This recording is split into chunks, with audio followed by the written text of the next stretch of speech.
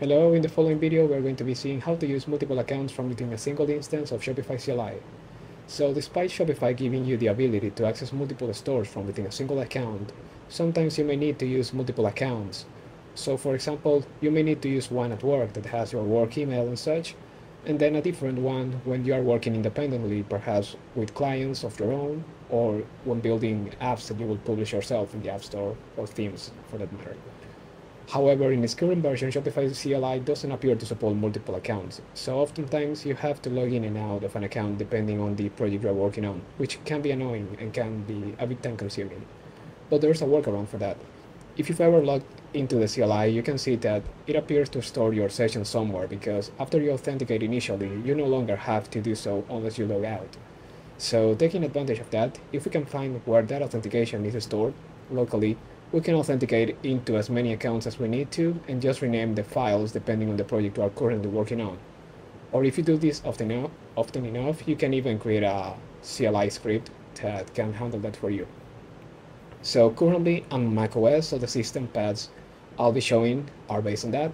But on other operating systems, the process will be most likely the same. You'll just need to find the folder that we'll see where the Shopify CLI stores this information and then you can follow this tutorial as I'll show you in this video. Okay, so I'm within my console here in the home directory and now I'm going to cd into library preferences and then Shopify CLI kit Node.js.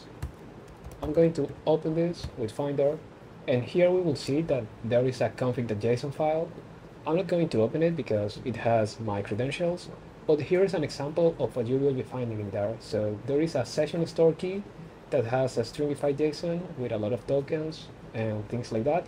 This is where your session is stored, as the name suggests. And then there is a cache key that has this information. I don't think it does that much, but this timestamp should be reflected on when this file was last created. Anyways, the setup we will be doing in this example is two stores. So here I have dev store 2023-8.1 and then here I have dev store 2023-8.2.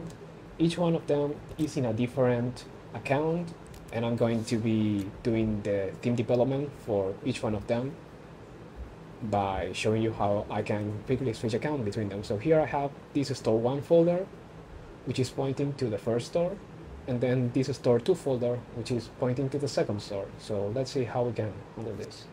Right that this is working. Initially I'm logged into the store 1 so let's go into the console for the store 1 and let's run Shopify theme pull and the environment. Let's set it to development which will tell it to pull from here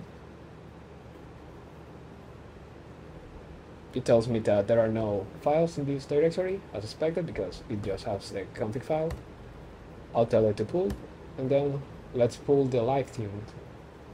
It will take a while, so I'll come back in a second once this is done. Okay, so this finished pulling. I ran Shopify theme dev initially, so it can sync all the files, and once I run it now, it doesn't take that long to run. So let's run it again, and let's see what store do we get. So this is applying for the store one, as we can see. And we can see that if I preview this, I get this store. If I go to localhost 9292, I get this store. So it is pretty much the same as expected because I'm connected to the store one.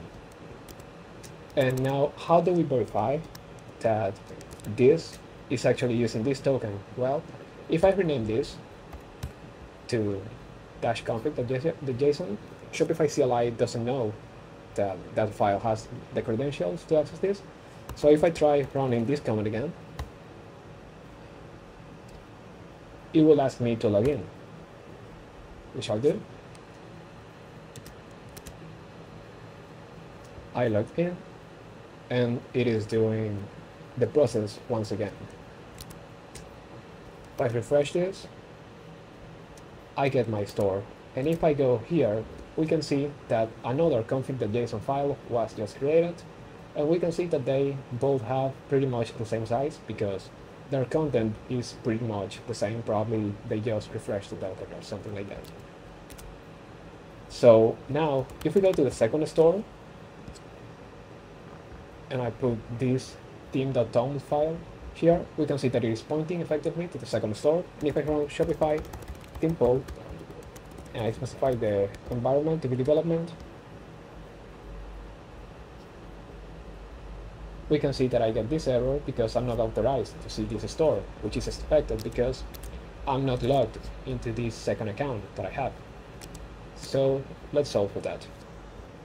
Okay, so what I'll do is that I'll close this and then this old config, I'll delete it and let's name this config.1.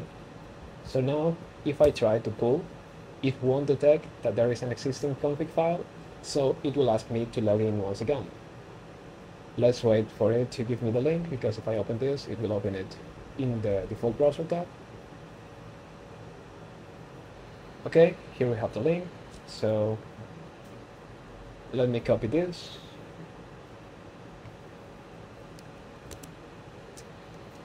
And let's go into here. Let's paste this.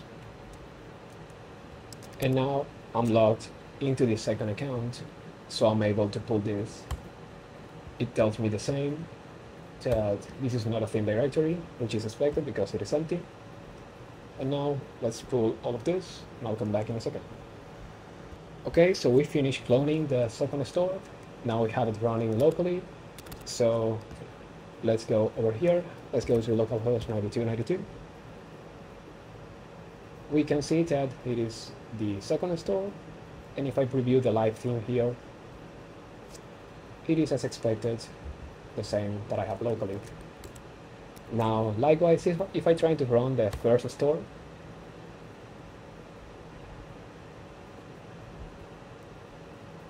we can see that it doesn't let me run it anymore because the token that I have in config here corresponds to the second store. So let's exit this and I'll rename this to config2.json and now let me duplicate the first JSON let's remove all of this. If I run this command now I'll be able to see my first store. So let's go to the browser let's put the password here. And this is the first store you can see here. And now if I remove this and I duplicate the second one I delete all of this. And I close this and try to run the second store I and I refresh this page once this finish syncing It asks me for the password, I put it, and we have the second store running here without having to go to the logging out and logging in between them. So that's about it. If you have multiple stores, you can just have as many JSONs as the stores that you have. So that's about it about this technique. It is quite simple once you understand where the files are being saved and what Shopify CLI is doing but it still can save you quite a bit of time if you are constantly switching between accounts or if you do it just a few times a day, it still can be quite handy to understand how this works. Also, a little trick is that you can drag this folder here to the sidebar so you can quickly access this and change the name of the files as you need to. And as I mentioned, if you have many more accounts than just two, which there could be a reason why you do, you could also create a CLI script to ask you which which store or which account you want to work on, and it renames these JSONs uh, accordingly. So that's about it. If you have any questions, feel free to leave it in the comments, and I'll see you in the next video.